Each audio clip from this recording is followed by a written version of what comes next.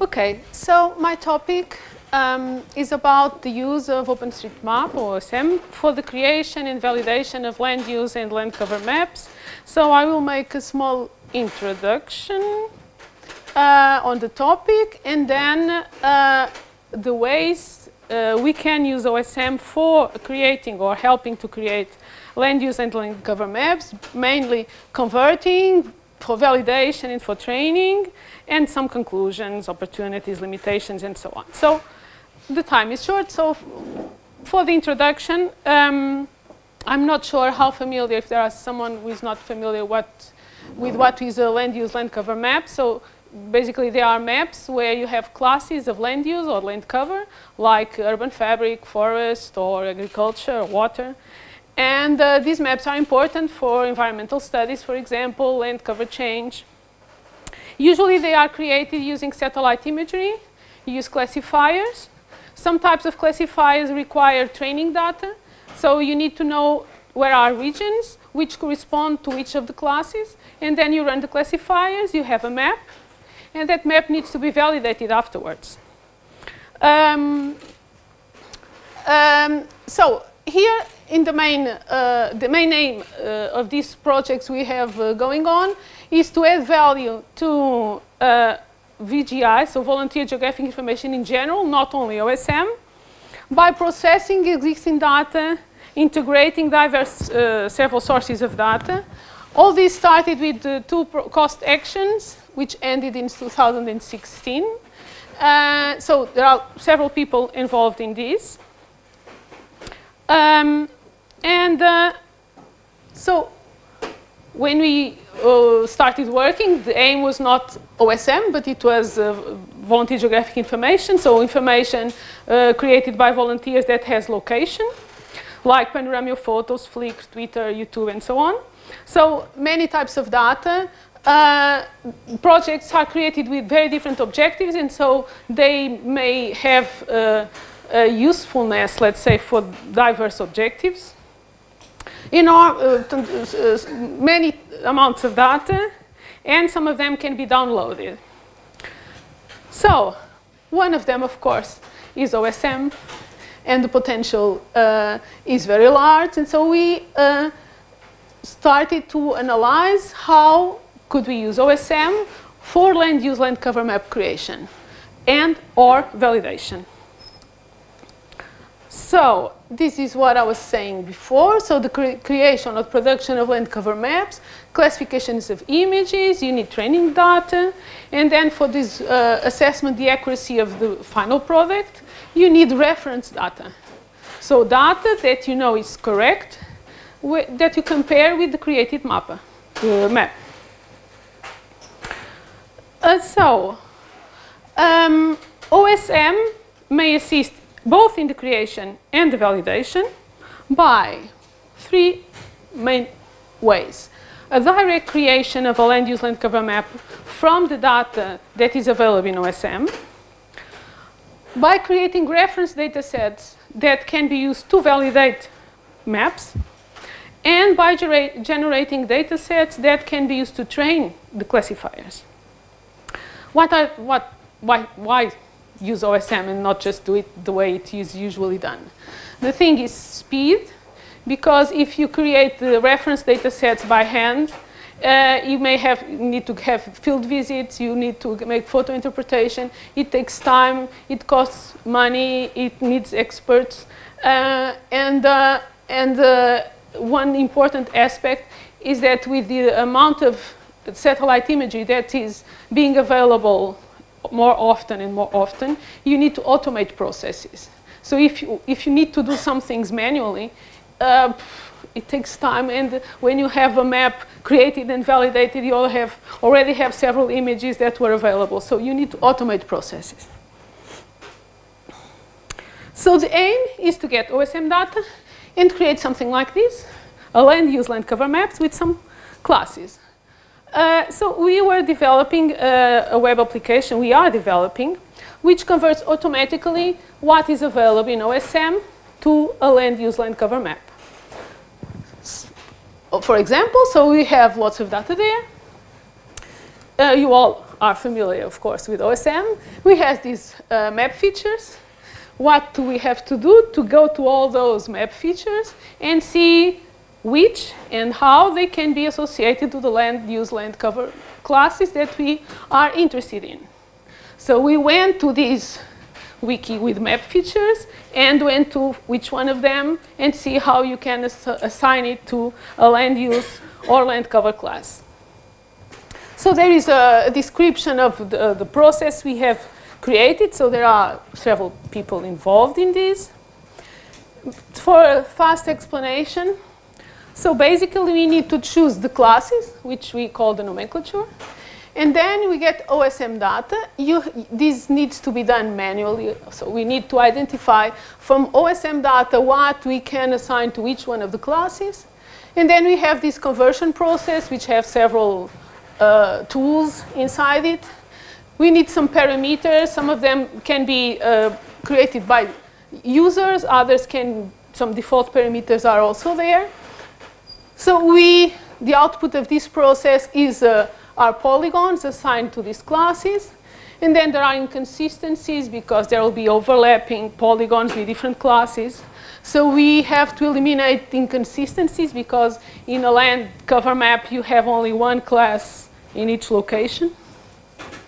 So you get, after this uh, elimination of inconsistencies, uh, non-overlapping polygons. And then there is this generalization process, which we did not do yet. This MMU means minimum mapping unit, because some, of, uh, some maps of land, land cover and land use have this minimum mapping unit. And if we want to compare what we are getting here with those maps, we should apply some generalization procedures. We did not apply them yet. So the nomenclatures we have uh, used so far is an urban atlas nomenclature. It has uh, 12 uh, thematic classes. Actually, the last version has uh, more classes. I'll show it in a minute. It's not available for all Europe. It's only for the main cities with more inhabitants. Uh, we also analyzed or converted to CORINE land cover uh, nomenclature. Here we have 44 thematic classes. And also for GlobeLand 30, which is a, a, map produced, so it's a global map by the National Geomatics Center of, of China uh, from Landsat imagery. It has a spatial resolution of 30 meters and it has only 10 thematic classes. So this is an example, not an example, it's real. the nomenclature of Urban Atlas, the one from 2006, the one from 2012 has already a few more classes. So it has more classes in level, level two for, uh, for example, agriculture. It has also a class called wetlands. And this is the CORINE land cover classes. So we did not make the conversion to the three levels. So basically, we did not uh, make conversion to the third level because it's very hard to assign what is an OSM to all these classes. So we have it mainly for uh, first level and second level, even though in some cases we use uh, features that actually would correspond to level 3 in both of them. The GlobeLand 30 nomenclature, so it has only 10 classes, which is uh, much less classes, and it's much easier to make the conversion. This is an example of the, of the process for only one class. So what we need to get is, for example, this class is class 1.2 in Urban Atlas. It corresponds to industry, commercial, public, military, private and transportation units. So we need to go to OSM and extract everything that may contribute to this class, either polygons, or for example, here you have communication units, which are lines. We need to convert those lines to regions.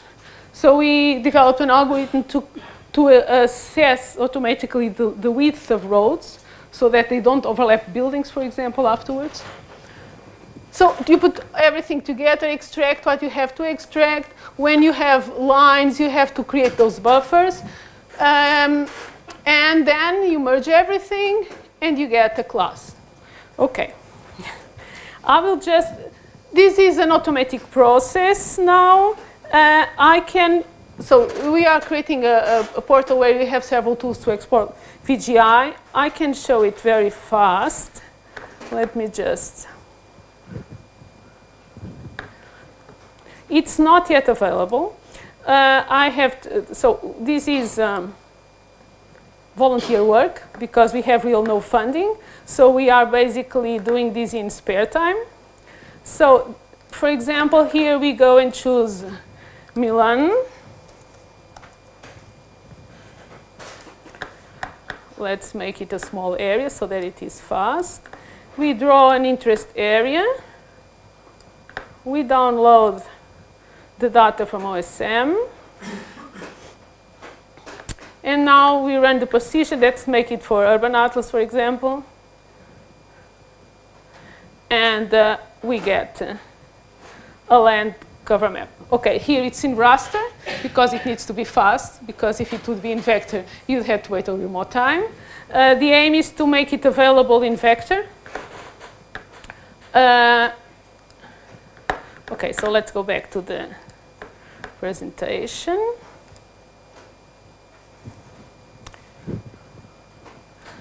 Okay, so this is examples. Uh, what's represented here? So you have the Urban Atlas map, the official one. This is from 2006. This is a region of uh, London.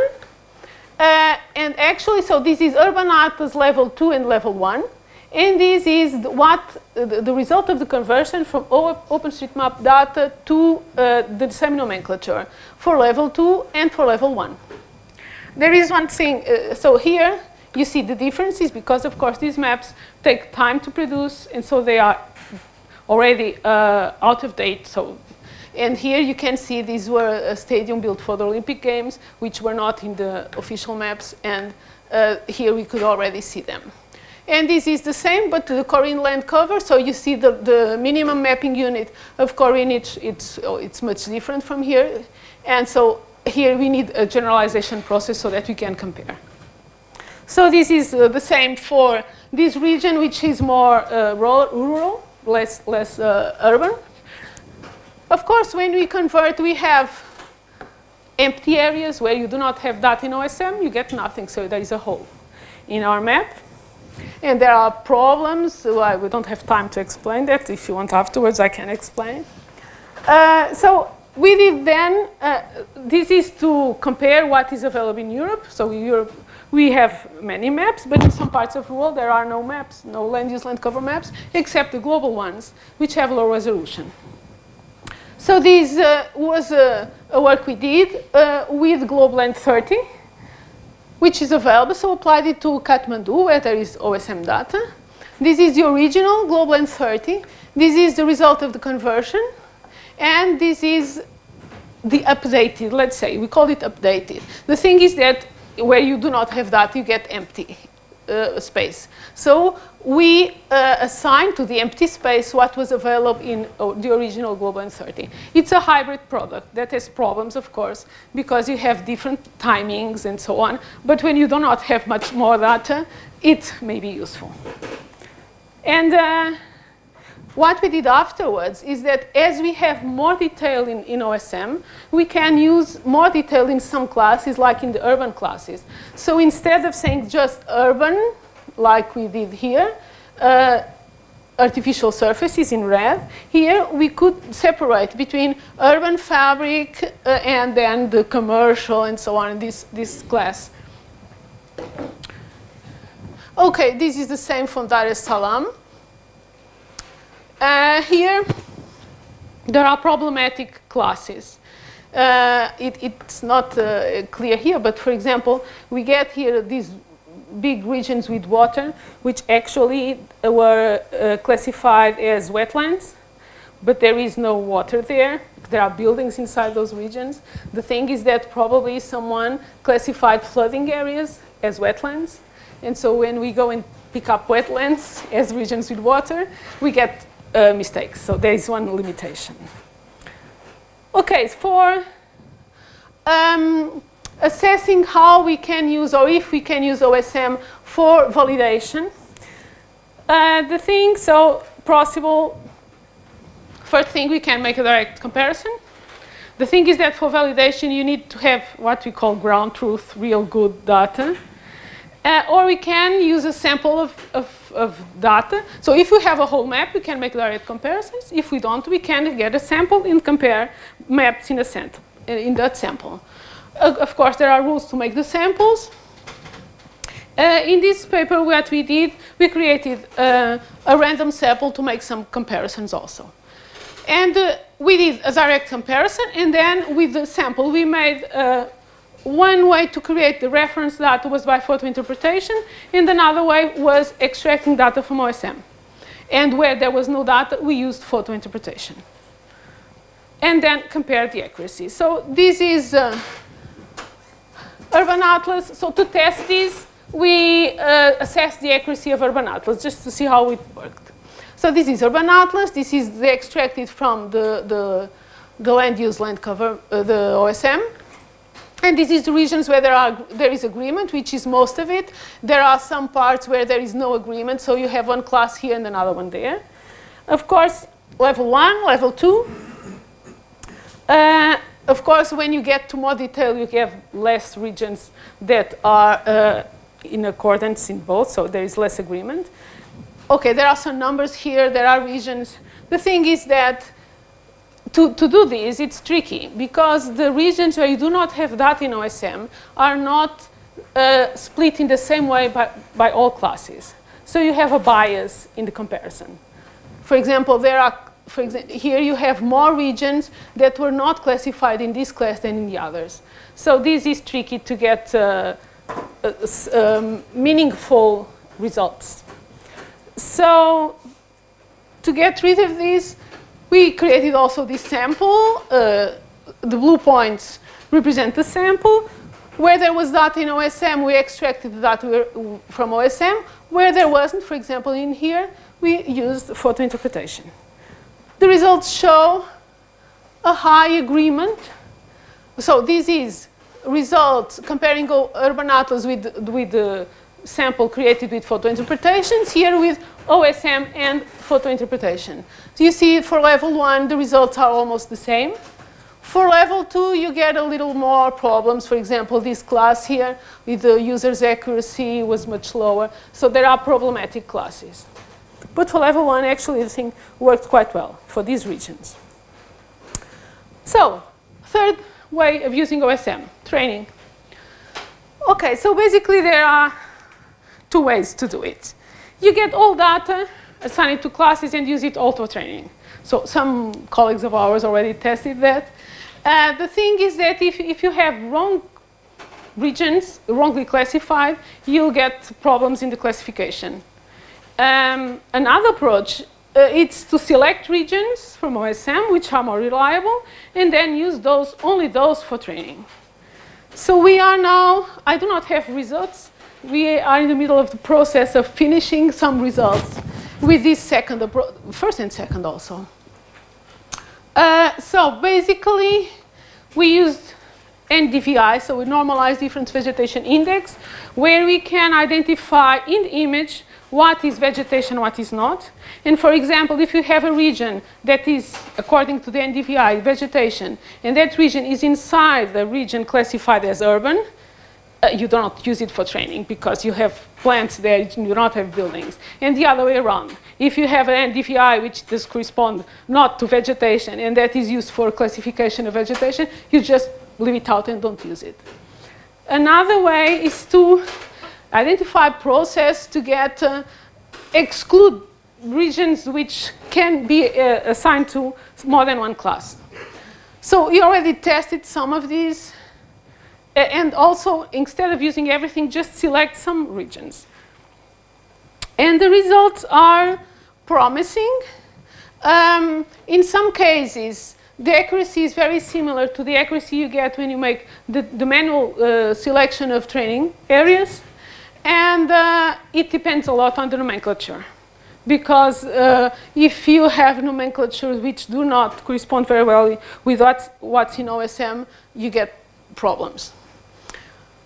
Okay, so why to do this? I already said the, the, the aim is automate the most that you can. It's faster, it's cheaper, and uh, allow you to have more current maps because you can do it very fast. And uh, also uh, facilitate the creation of high resolution maps, for example, in the regions where they are, they are not available like the regions where you just have, for example, GlobeLand 30, and you need a, more, uh, a map with more resolution. Uh, so OSM is very good for this because it has a lots of data, low cost, dynamic, you have local knowledge, which is also important for this. And the main problem is that some places you have no data. And so the data quality is always a problem because, for example, if you want to validate or train, you need good data, not, not data which are then uh, creating problems in the process. Data heterogeneity, in some regions they are very well mapped, others are not. Some features are missing in, other place, in some places. And also inconsistencies because sometimes you have polygons overlapping corresponding to different classes and you have to figure out what to do with it. For example, if you have a bridge over water, you'll get both classes in that region, you have to choose one. Usually, you, you choose the bridge, the bridge. It's not called bridge, it's a, a highway, for example.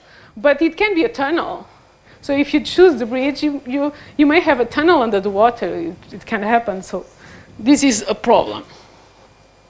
Future work, so we are improving the, the process of convert, the conversion. Uh, keep working on extraction only uh, reliable data. Integration several sources of data. And I have been mainly involved in extracting data. We also want to contribute to the data. So we ask okay, so mapping parties, uh, YouthMappers, I'm from a university, so I'm starting on this, and uh, if you can help me, great. So many opportunities, many challenges, definitely, and thank you. I hope I was on time. Thank you very much, Cidália. Now we do have some uh, very, very few important questions left because the next presentation should be on time, which uh, has a special setting. Any questions? Yes, please. Sorry, one second. Sorry, can't hear. Uh, yeah. Uh, what sort of classifiers are you training on the data? Uh, we already tested several. We used the um, maximum likelihood. In these last uh, tests, we use maximum likelihood, but we also already use uh, fuzzy classifiers. Uh, we can test several, yeah.